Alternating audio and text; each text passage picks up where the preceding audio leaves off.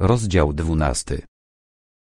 Pogrzeb głowy Regierungsratha, pieśń z Hamleta, wątpliwości Nemsty, w piwnicy pod kaplicą, XIII czy XVII wiek, znowu znachor, portier i powieść w gazecie, smagłolica lekarka, poznajemy autora księgi truciciela, poszukiwaczka męża. Przyjazd profesora Nemsty dokonane przeze mnie uwolnienie doktora Nietajenki z domu niewoli niewiele poprawiły stosunki między mną a Dryblasem. Co gorsza, mój niedawny sojusznik w osobie babiego lata również przeszedł do wrogiego obozu. Szczegółowo wyjaśniłem sprawę listu Kuwasy. Postawiono mi zarzut, którego można się było spodziewać. Dlaczego widząc śpiącego Dryblasa, świadomy, jakie to może spowodować następstwa, nie obudziłem go, lecz poprzestałem na zrobieniu głupiego kawału. Dryblas wysunął w stosunku do mnie nowe podejrzenie, dlaczego to właśnie redaktor odnalazł nietajenkę. Widocznie wiedział, gdzie on się znajduje, uląkł się pogróżek i uwolnił doktora. Nemsta wyśmiał Dryblasa i w ogóle zbagatelizował całą historię. Ale nie na wiele się to zdało. Na szczęście moje sprawy odeszły na plan dalszy. Narzędzi mieliśmy aż za dużo, bo i Nemsta przywiózł jeszcze nową porcję. Zasypane schody w kaplicy nęciły swoją tajemnicą. Ekipa pracuje więc od świtu do późnego wieczora z małą przerwą na obiad. Z tych też względów i pogrzeb czaszki Regierungsratha, a raczej zwrócenie czaszki prawowitemu kościotrypowi, nie odbył się z taką pompą i paradą, jakiej sobie życzyłem.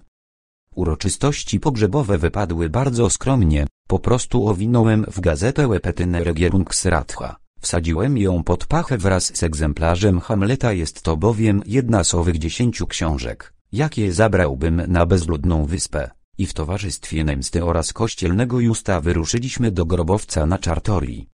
Tam odwinąłem czaszkę z gazety i zanim włożyłem ją z powrotem do rozwalonej trumny, wygłosiłem niewielkie przemówienie pogrzebowe, posługując się Hamletem na podobieństwo brewiarza.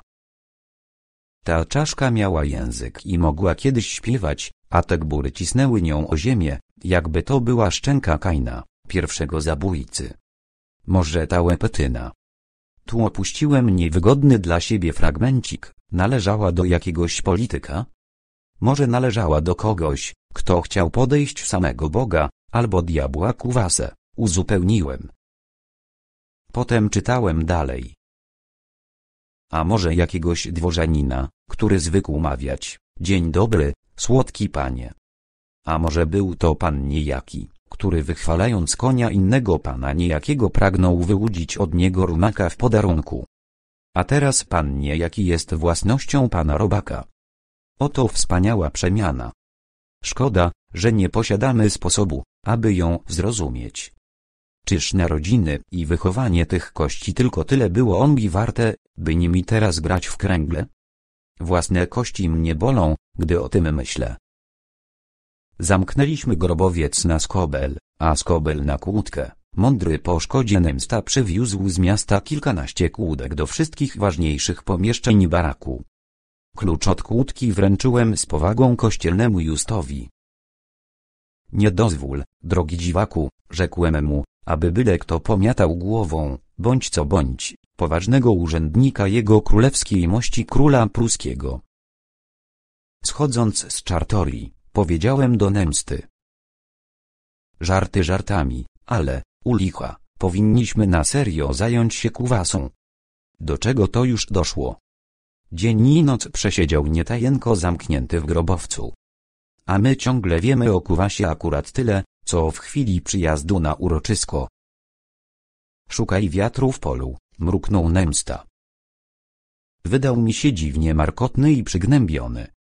Zlekceważył moją kłótnię z Dryblasem, a w pogrzebie czaszki Regierungsratha wziął udział tylko dlatego, żeby mnie nie pozbawiać przyjemności. Nadomiar on, który zawsze uganiał się za wszelkiego rodzaju tajemnicami i zagadkami historycznymi, ostatnio zupełnie jakoś nie wykazywał większego zainteresowania badaniami. Może na stypie pogrzebowej rozwiąże mu się język, myślałem. Stypa odbyła się, rzecz jasna, u kościelnego Justa.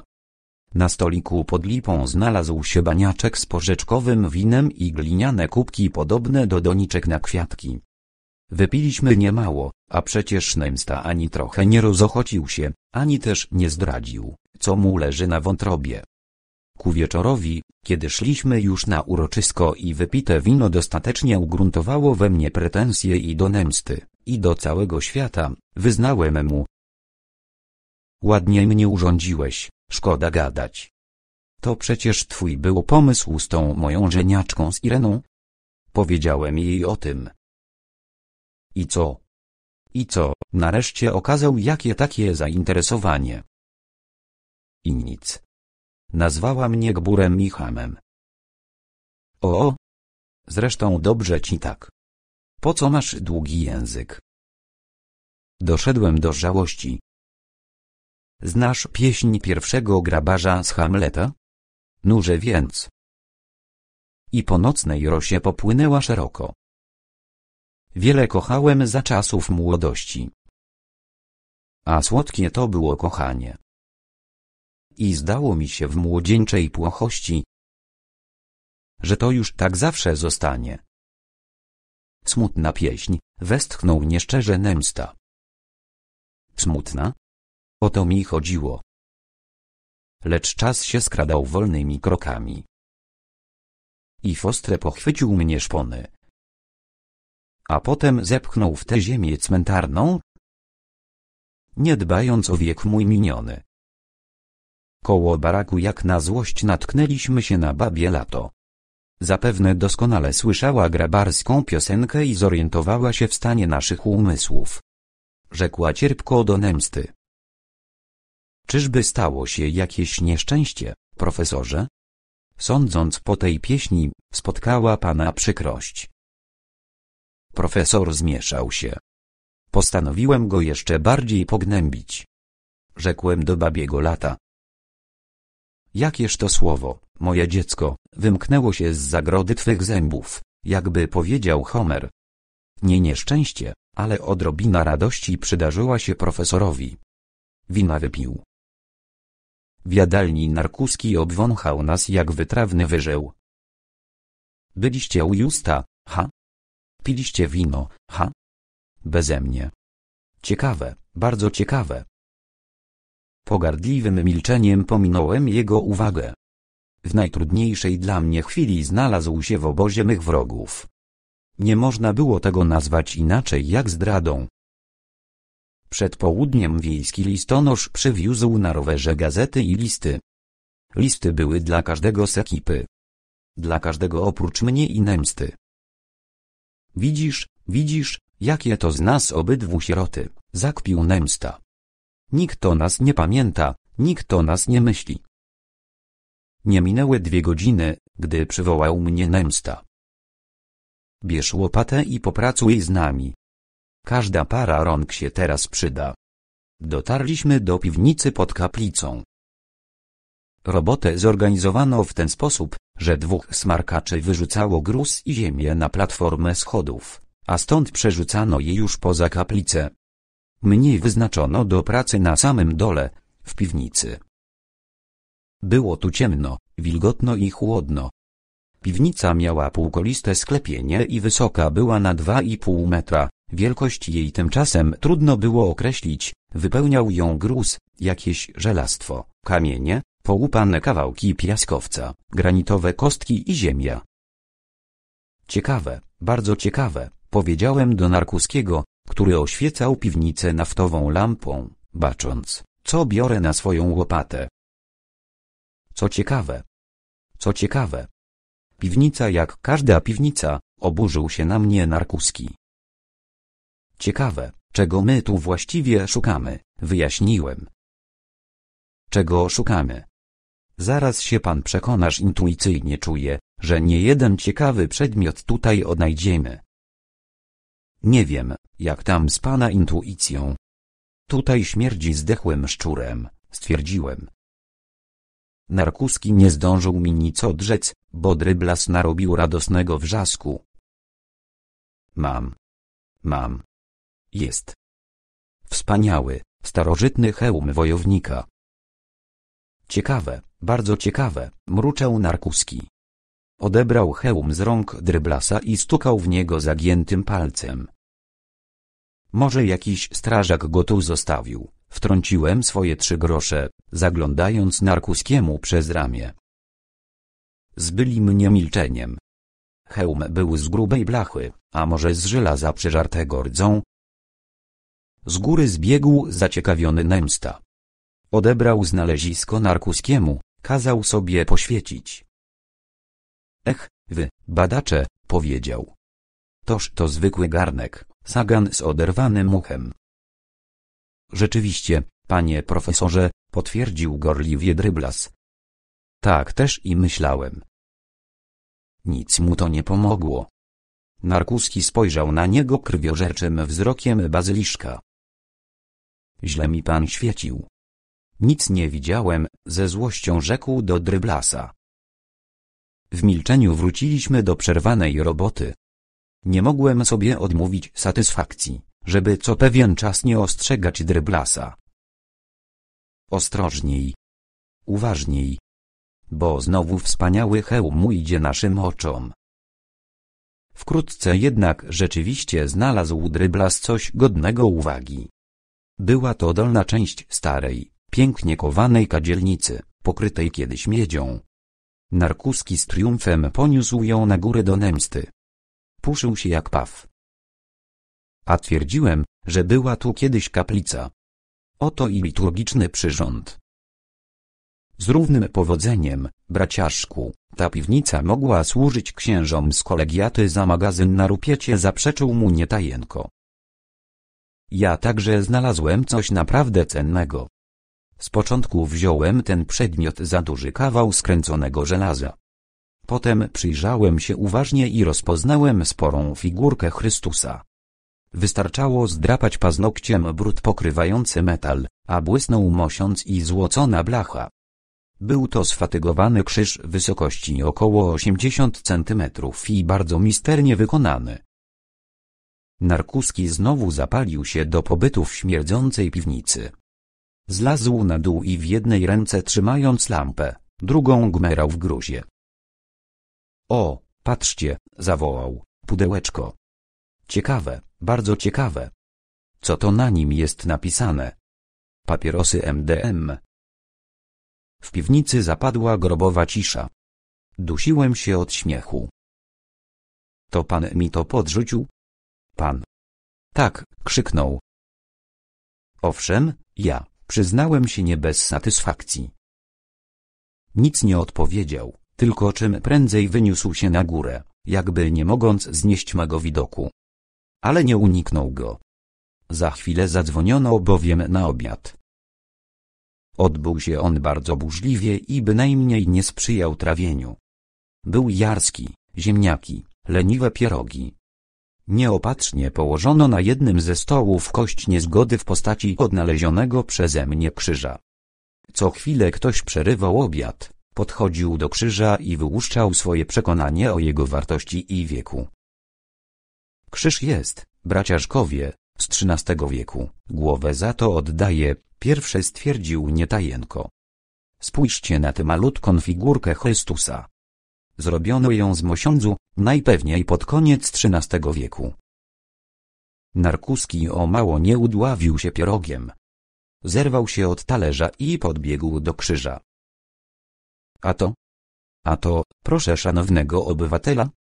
Przyjrzyjcie się stopie krzyża, węzłowi, okładzinom, frontowej jego części. Jakaż delikatna dekoracja grawerunkowa, jak subtelnie wykonane symbole czterech ewangelistów. Ten krzyż pochodzi z przełomu XVI i XVII wieku.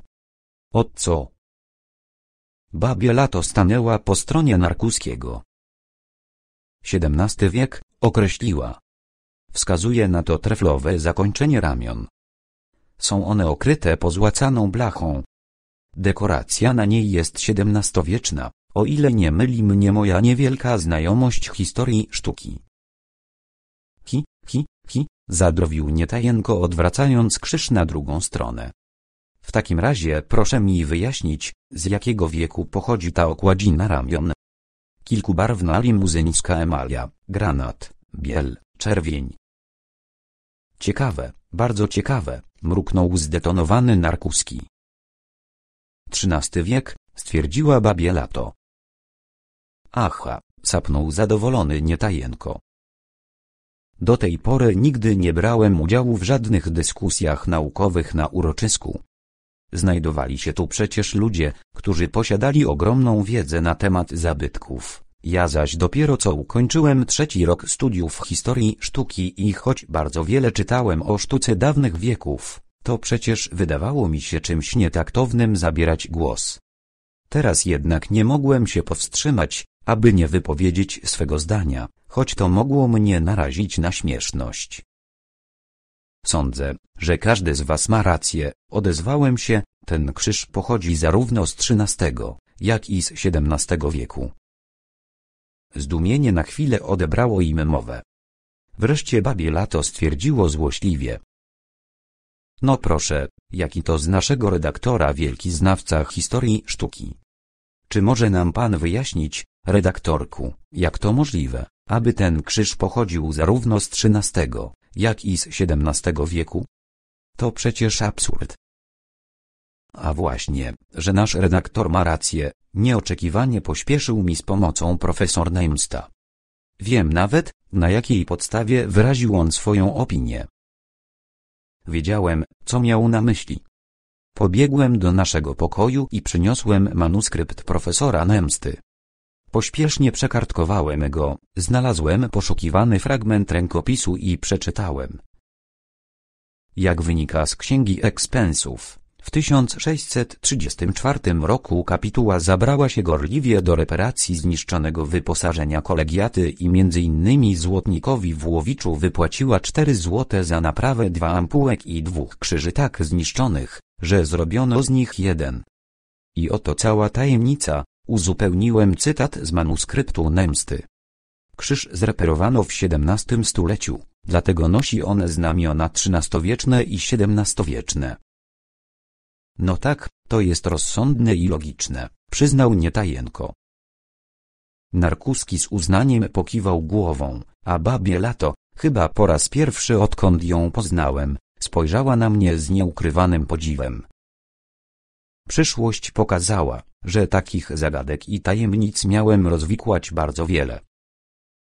Dumnie rozejrzałem się dokoła. Nietajenko w dużym kalendarzyku zapisywał dane dotyczące znaleziska. Nagle przerwał pisanie i obwieścił wszystkim. A wiecie wy, braciaszkowie, że dzisiaj jest niedziela? Zdumienie. Dziewczyny zaraz narobiły pisku, że o dalszej robocie w piwnicy nie ma mowy, że niedziela jest dniem odpoczynku i tak dalej. Oczywiście nie chodziło o żaden odpoczynek. Po prostu każda z nich przywiozła ze sobą trochę świątecznych strojów, w które do tej pory nie miały sposobności się ubrać. Nemsta machnął ręką na zgodę i pobiegły się przebrać po świątecznemu. A ja na ryby. O trzy kilometry stąd jest jeziorko z karpiami. Idziecie, zaproponował Narkuski. Miał tylko trzy wędki.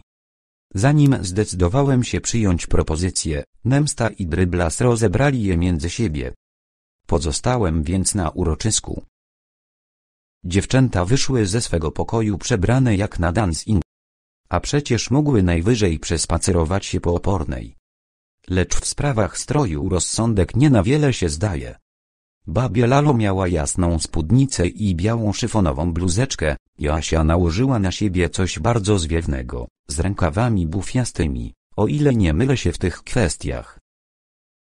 W tym otoczeniu strasznie mizerną wydała mi się własna postać w welwetowych spodniach i czerwonej, nieco przybrudzonej koszuli. Ba, dlaczegoż to niby mam mieć więcej rozsądku od nich? Wyciągnąłem z walizki jasny, flanelowy garnitur, białą koszulę i muszkę. Wariat. Kompletny wariat, pomyślałem sobie przemierzając ją przed lustrem.